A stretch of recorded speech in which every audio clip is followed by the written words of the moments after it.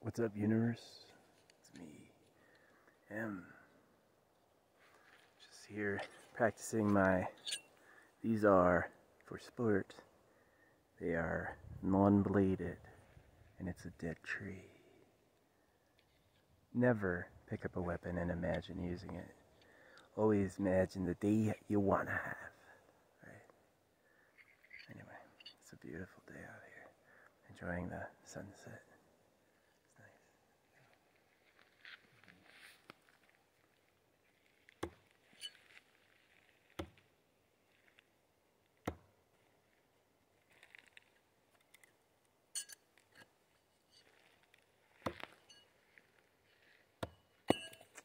Some of the tips are snipped. That one wasn't. Yeah. Fifteen percent.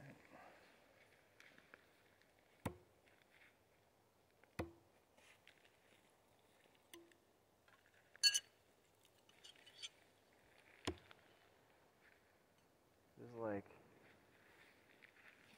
so these are advertised as no stick or sorry, no spin. And this is the first day I've used them. So already two of them have the tips broken, right? And I was sticking them. And it was sticking good. Right? But they still stick. Dead, but yeah. It's fun, heavy, and longer, but I don't know if they are no spin. I think these are spin, or you just have to be really skilled to shuck it. It might be there is no lightly tossing, no spin. It might be if you want to rocket a no spin, you really have to put your all into it. You basically have to throw it faster than it's spinning, basically. So, yeah, it can be a cannon up close, but making it a really effective long range away can be kind of challenging. These kunai, the little ones,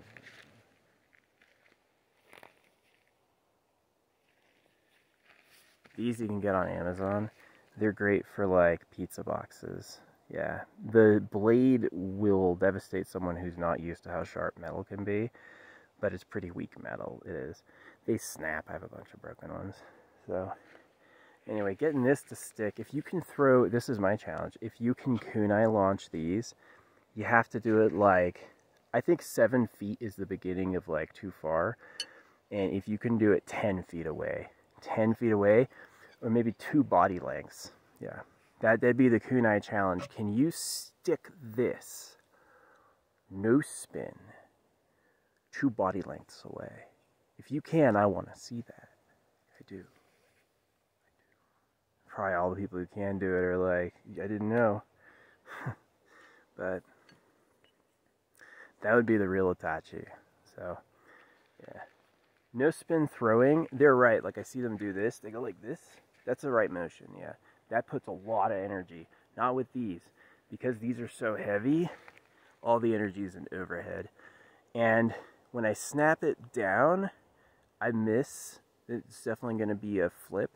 But the method and why I came over, I wanted to share how I throw these, is a little bit of this. Okay? So what you're doing is you're guiding the path with your fingers because it lets you feel where the tip is. And what you want to do is you want to imagine your tip going into the wood. And when you imagine the tip going into the wood, it signals the universe you're really going to do it this time. It's like you can imagine a problem and get more of the problem all day. Or you can imagine, it's really true, like you I've been focused on existential things that are my business. It's really Buddha business and religious scripture is people who can do like miracles. It is kind of their business. So I've been focused on that, but it's been in a realm I figure is more litigious than anything. It's important, but definitely dry, and it's not all of who I am. I certainly, like, I've talked a lot about the C word. I certainly don't want to live my whole life talking about it. I certainly even hope to one day have, like, a fully repaired, you know what I mean? It's just happened to too many billions to stop saying, like, you're doing it to babies? Could you not? Could you not do that to babies? Could we not be those people, please? Like, I don't want to be like, look who ate all the cows and castrated everybody. Oh, everything's running. You know, it works like that. It does. I can't find Sasquatch. He knows you're there. He's just like.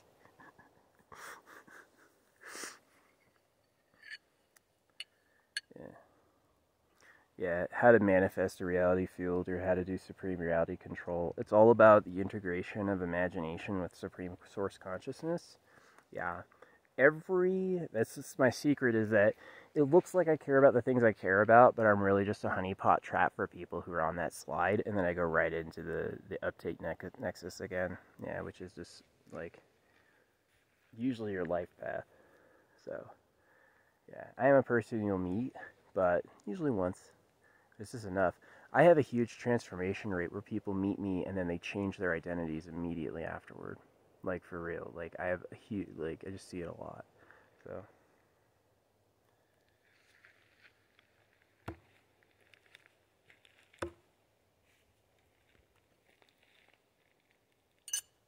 yeah, I'm a good transformer. As you know by my art, I can transform and I can wing it with anything, and it's real. It's me winging it, and it comes out that way.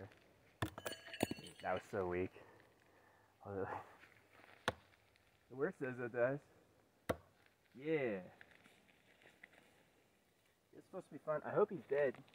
I really do. He's not like crying. Like, this again. It's so horrible.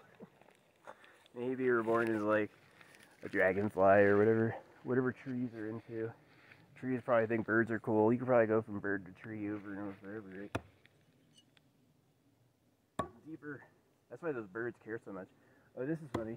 I've been wanting to share this for a while. Uh, I used to shoot eggs, and birds will actually cry when you shoot eggs. Yeah, they'll like get in a tree and they have like bird mourning.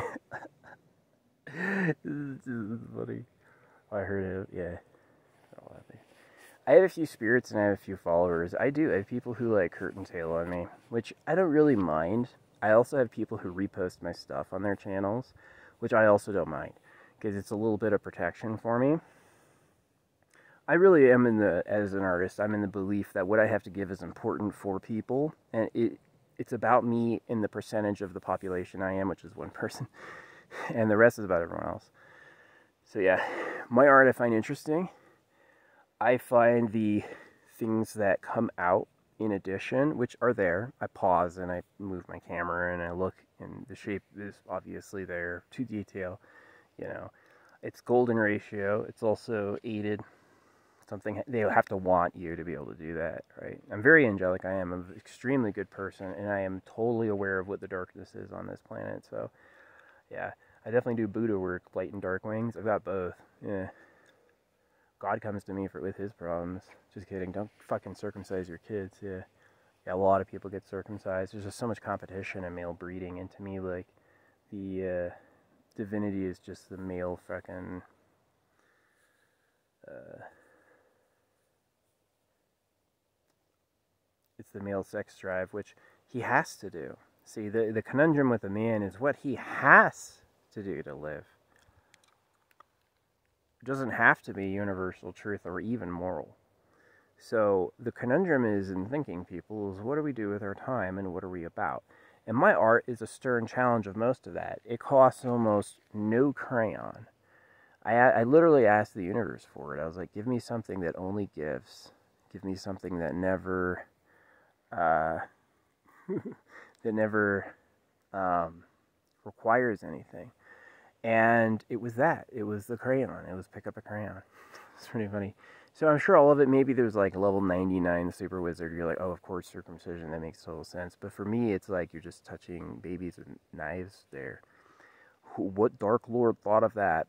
I really mean that. It's really like, whoa. Yeah, and all the Bibles coming out printers. Who would be into that? People who like girls. Who likes girls? Literally every man who's ever been. How much do men like girls? like insane.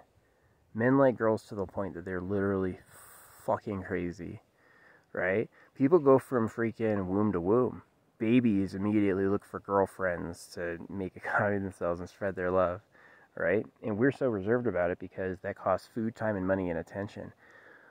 We don't necessarily have a million hours sitting around to get to know absolutely freaking everybody. And people who don't get enough of the main things of life turn to horrible things because they hurt and so there's a huge conundrum is that you have to make people purposely that you care about and do it well. you know, this get rid of them is like another circumcision. Go be a chaos monkey someplace else is rather effective, but it, to me, it has the strokes of evil to it. I, I praise Dennis, the guy who taught me how to speed paint. Marvelous man, has everything to my mind. But he was circumcised and he hated his parents for it. And it was funny, he built a house on top of theirs. but he a house on top of theirs and had like free range to cuss them out all day. He's the guy taught me how to speed paint. Yeah, it was funny. I'm not gay, but there's just some people you just meet and it's like meeting an angel or someone from like a dream. You know what I mean? And it's like you, you've always known them, and you were just closer than close, like like an angel. It really was like an angel. It was awesome. But it was ten years until I started speed painting. It's real. It's all real. I can do it with a needle too. I can do it with uh, tattoos. There's speed painting tattoos all over the internet. You'll see them if they uh, if the, they're moving and they're shimmering. That's a speed painting. Yeah. Um, and I don't really finish them to that point yeah, what I do is I I'm like playing in a shadow box world. I play in a, a very a space that's very easy to shift quickly, and it's a lot of fun. It's a lot of fun to do. But uh, yeah, how to do HTSP? It's like riding a skateboard that drives itself. It is, and it's not AI. It's not a computer. It's to the page, but you have to feel it. And there's something inside of us, just like how you walk forward, or just like how you can go like this, go like this you know those things you can speed paint just like that you know squirrels and chipmunks they climb up trees a squirrel or a chipmunk will make a hundred moves in like five seconds right just poof, i got out my batteries but right so i was like why can't i do that and i could and so can you i heard I, i've seen five year old speed paint trust me i'm not telling you i'm the best except when i'm being funny because i've seen I got this Rasta bird. I do. I've got this red, yellow, and green Rasta bird hanging out. okay. Probably a spy for somebody. Yeah, there's all sorts of talented people. All sorts of skills. Eagle warriors, all that stuff. Yeah. Spirit. I made great arrangements with the uh, I, I, I asked ticks and spiders not to bother me, and two days in a row I found a dead, not a dead, but like a crater, like it had hit with like an impact force. Like a meteor, like a meteor strike. It was the meteor I found cratered to my eye. I could sit there and stare at it and manipulate it, and it's just there. A tick and a spider behind my car. Yeah. In a crater. Just in the very center. So interesting. And I've never had a problem with them ever since. Yeah, all I did is I formally said, hey, I respect you. May you have your best lives you can have, but don't bother me. I don't ever want to, like, get the oogie boogie or anything weird. And they, honestly, the spirit that controls them was like, that was so dignified and clear and they did it. And to this day, it's been really solid. It's been a really good agreement. So I don't mind. Um, they do want like public respect. Spiders are cool. They're cool, but I know what goes on here. You know, eat world, do you got to accept it or do you got to change it? I think the truth is everything runs. And I think if you don't feel pain, either not feeling pain is the point or feeling pain is the point. Because feeling pain will make you kind. It'll make you do things like hug. It's like, do you want to hurt? No. I got cut with a knife once when I was a kid. I won't do that to anyone ever again. Yep, nicest person ever. That's actually rather effective. But if you go, I'm painless, then you have all the people who are like shoving things through their bodies. But if it gets good, then they're actually like gods. They like stick their hand through their heart and move it. Yeah, all sorts of cool stuff can go on. So, there's all sorts of secrets. Yeah or it's just high people, beware. Alright, I've given you tons of warnings. Please don't uh, fall for them with me, too. So.